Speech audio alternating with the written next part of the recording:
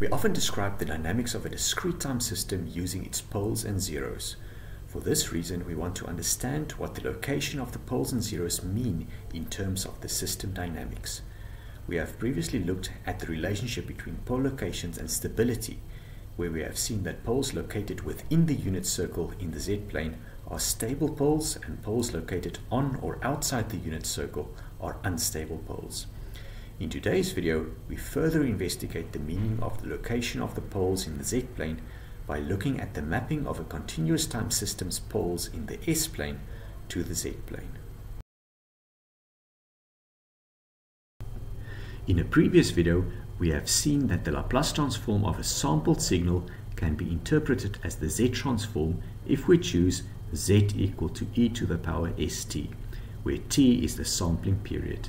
In another video, we have also seen that the impulse invariant transformation of an analog controller to a digital controller amounts to choosing the poles of the digital controller by transforming the poles of the analog controller using this transformation.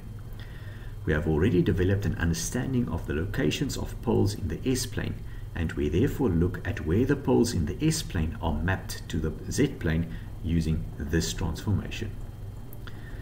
Let's describe a continuous time pole in terms of its real and imaginary parts, sigma and omega d.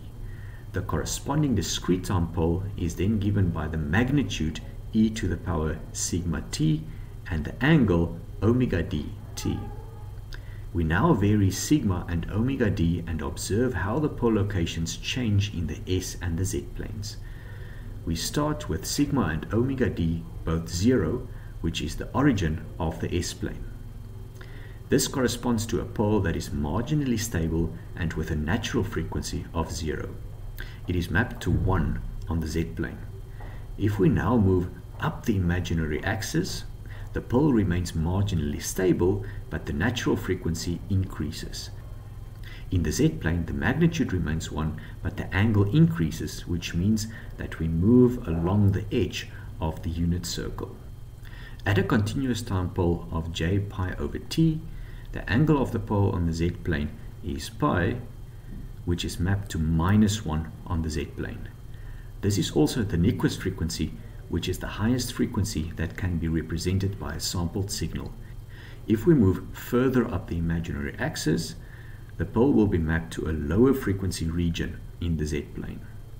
If we now keep the imaginary part of the pole at j pi over t, but we decrease the real part from 0 to minus infinity, we move along this line in the s-plane.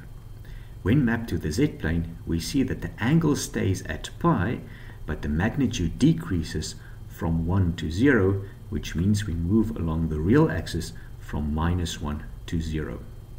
For similar ranges of pole locations on the bottom of, of the S-plane, the discrete time poles are mapped similarly on the z-plane.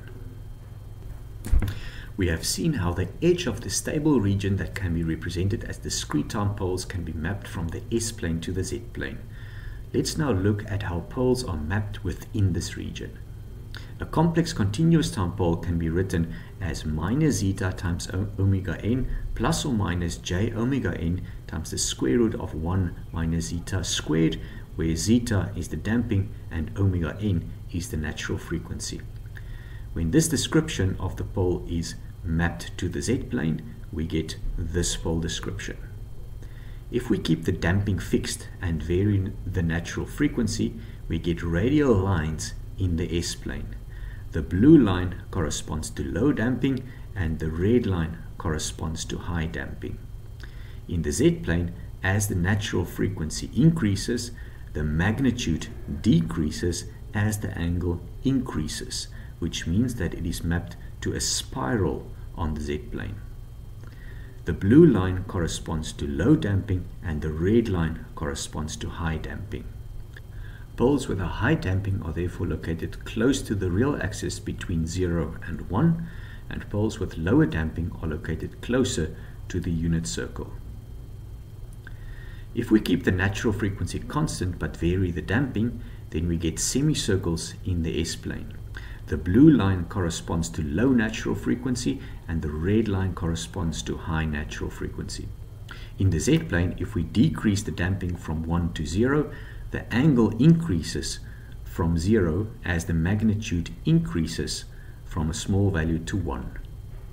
The blue line corresponds to a low natural frequency and the red line corresponds to a high natural frequency. Poles with a low natural frequency are therefore located close to z equal to 1 and poles with higher natural frequency are located closer to the real axis between minus 1 and 0. When we look at the mapping for constant damping and constant natural frequency, we see that in the low frequency region, the interpretation of a pole's location is similar to that of the S-plane.